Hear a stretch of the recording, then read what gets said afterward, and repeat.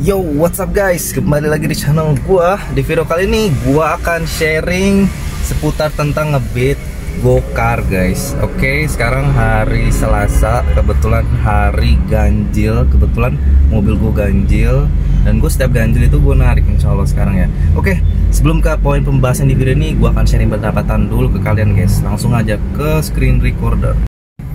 Oke, kita lagi order Sahara guys. Kita matiin dulu lah ya. Oke, sudah mati guys.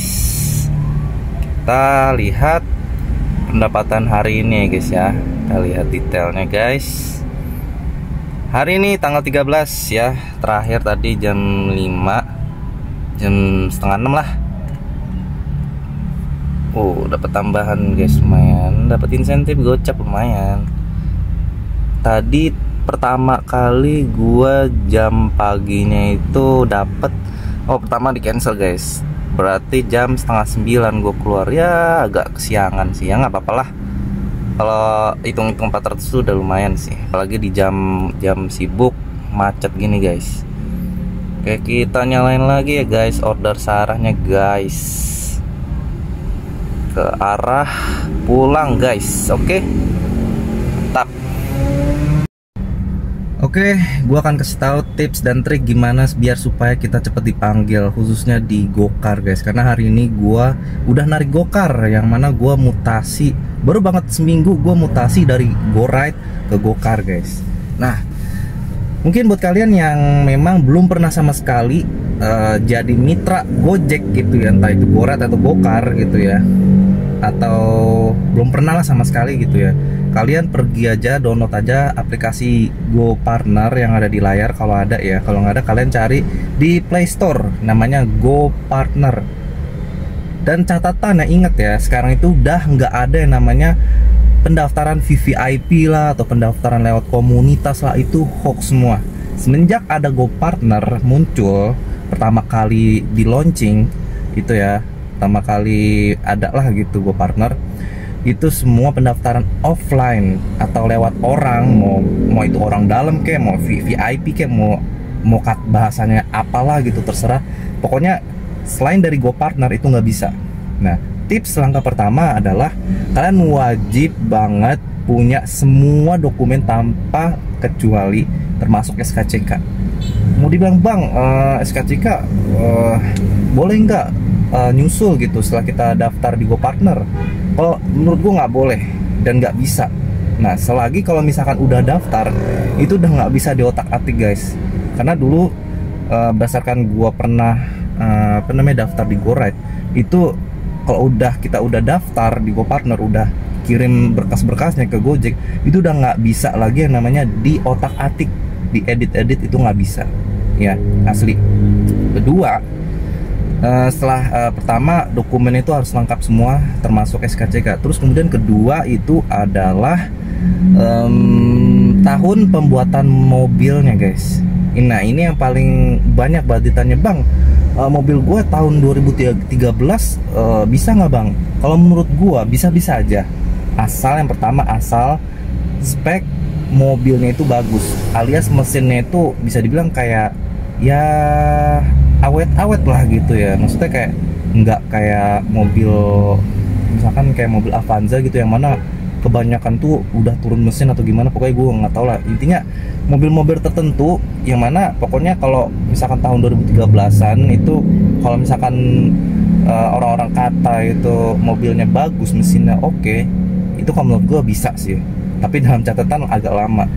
Bang uh, mobil tahun berapa bang kalau yang cepat dipanggil yang yang terbarunya lah bos gitu ya. Karena kan kita yang ya yang namanya kita uh, memberi pelayanan ke pelanggan gitu ya. Apalagi kan kita ngasih jasa ke pelanggan itu kan pelanggan juga bayar, bayar pakai duit kan. Ya otomatis ya mau nggak mau ya harus totalitas lah gitu ya kan. Jadi uh, seusahakan sebisa mungkin tahun pembuatan mobilnya itu uh, di atas atau uh, di bawah lima tahun ya.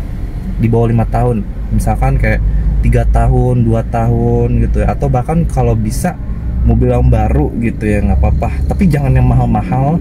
Yang penting tahun pembuatannya itu eh, nggak uh, lebih dari lima tahun. Ya mau murah mau mahal terserah. Yang penting sesuaikan dengan budget kalian. Intinya pokoknya uh, yang murah juga nggak apa-apa. Yang penting tahun pembuatan mesin atau pembuatan mobil.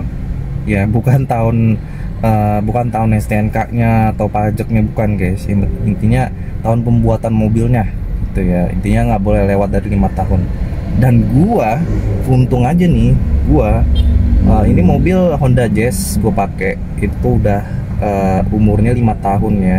Yang mana uh, alhamdulillah masih bisa sih.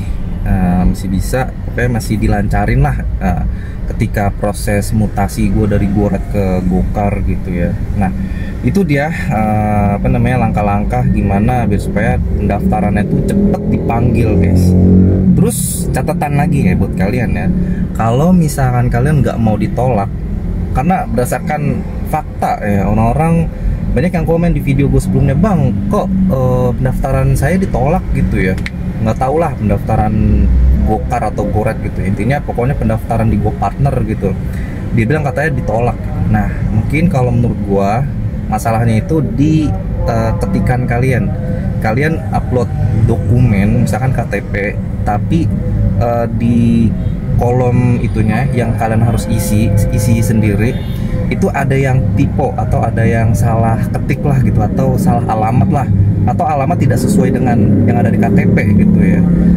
Dan SIM juga gitu ya terus SK, uh, eh, STNK juga. Pokoknya di situ yang kita isi secara man manual itu nggak boleh nggak boleh beda sama yang di dokumen ininya fisiknya yang kita foto itu guys yang kita kirim ke Go Partner gitu ya. Nah terus uh, eh, SKC, SKCK nih usahain uh, bikin aja lah gitu. Entah itu kalian udah pernah kena pidana udah pernah di penjara intinya bikin aja dulu gitu ya. Nggak masalah kalian uh, udah atau belumnya pernah dipidana intinya ada dulu SKCK gitu ya. Yang penting SKCK itu kayak penentu uh, inilah uh, kelengkapan dokumen lah gitu biar supaya si Gojek tahu nih oh oh dia begini oh dia begitu. Jadi cepet lah gitu. Intinya pokoknya membuat proses pendaftaran itu cepet intinya gitu aja ya. Terus uh, langkah terakhir adalah kali kita banyak-banyak berdoa aja ya. Karena memang nggak semua wilayah Jakarta itu uh, membutuhkan mitra driver baru ya contohnya misalkan kayak wah dapat order guys oke guys bentar guys Ah, akhirnya gue udah balik guys. Tadi macet banget gue nggak sempet bikin lanjut videonya lah guys. Oke, mungkin di video kali ini cukup sekian ya. Mungkin buat kalian yang mau bertanya-tanya, bang, kenapa kok akun gue ditolak, bang? Kenapa kok uh, di daerah gue lama banget? Nah, itu jadi pertanyaan dari kalian yang akan gue jawab kalau misalkan kalian nanya di kolom komentar di bawah. Oke. Okay? Oke okay guys, mungkin di ini cukup sekian. Jangan lupa like, comment, dan share video ini ke teman-teman kalian biar supaya aku tambah semangat lagi untuk upload hampir setiap hari.